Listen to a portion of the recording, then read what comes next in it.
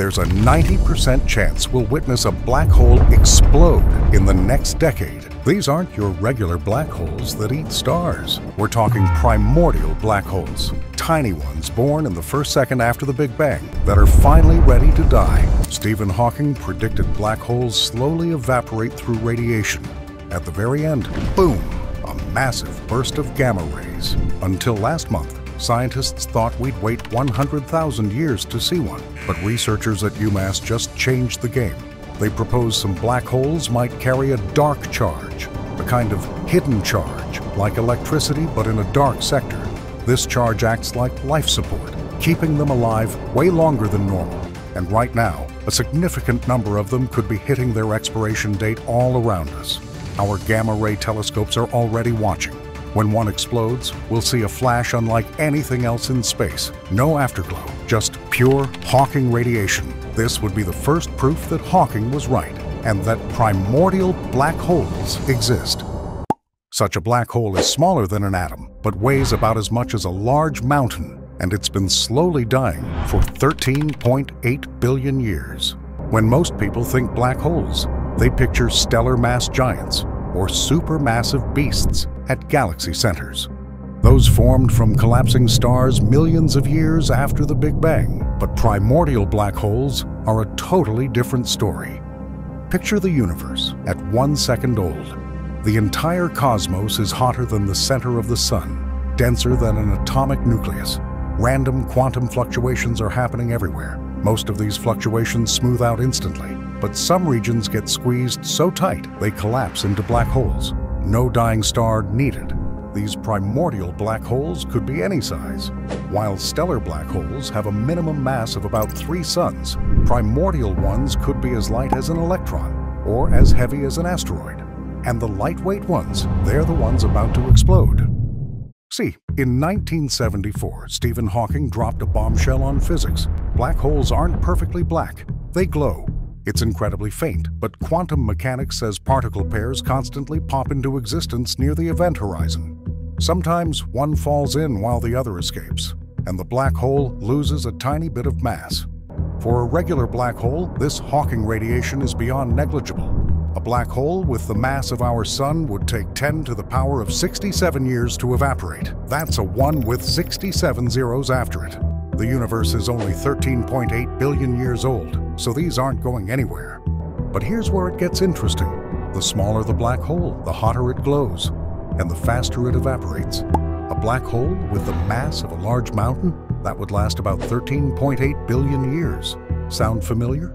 These lightweight primordial black holes born in the Big Bang are reaching their expiration dates right now until September 2025, physicists thought we'd basically never witness a primordial black hole explosion. The odds were about one detectable event every 100,000 years. Not something you'd wait around for, but a new paper in Physical Review Letters from the UMass Amherst team shook things up. They asked, what if we're missing a piece of dark matter physics?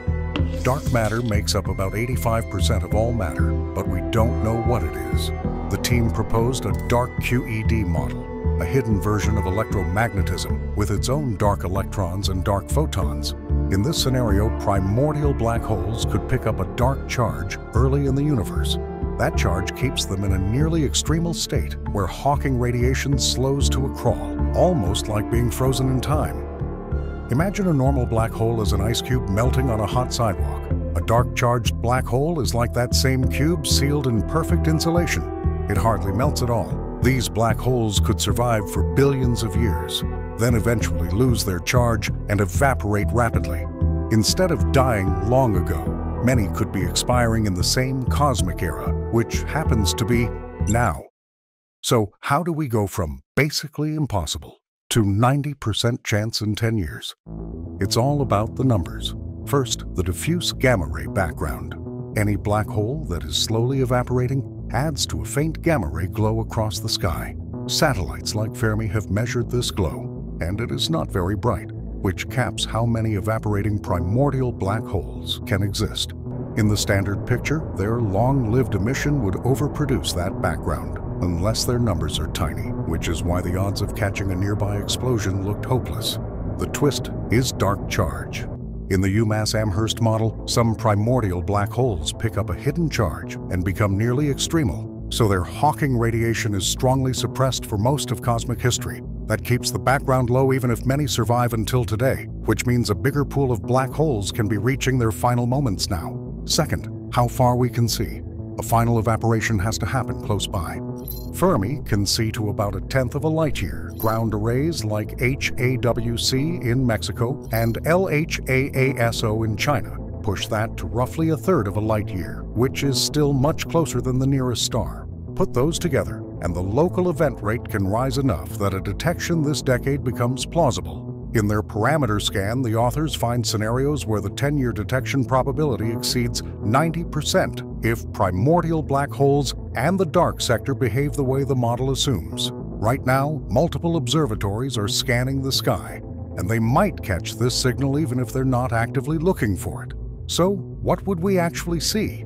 The final explosion would last just a fraction of a second.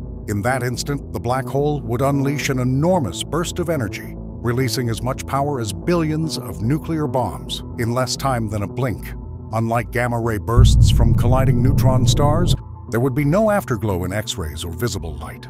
A primordial black hole burst would be a naked flash of Hawking radiation, with a spectrum peaking in high energy gamma rays, far harder than most cosmic explosions. Our current instruments, Fermi, HAWC, and LHAASO, could already detect such a flash. The upcoming Cherenkov telescope array will be even more sensitive. We don't need new technology. We just need to be watching when it happens.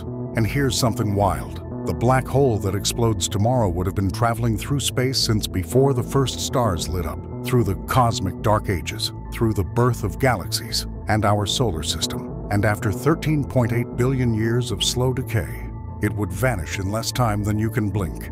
If we ever catch one of these explosions, it would confirm two massive things at once. Hawking radiation is real, and primordial black holes exist and depending on what we learn, it might even hint at an undiscovered dark sector of physics. But here's my question for you. If we detect one and prove primordial black holes exist, what does that mean for dark matter? Could ancient black holes make up part of the dark matter we've been chasing? Or does the idea of a dark charge point to something even stranger? Drop your theories in the comments.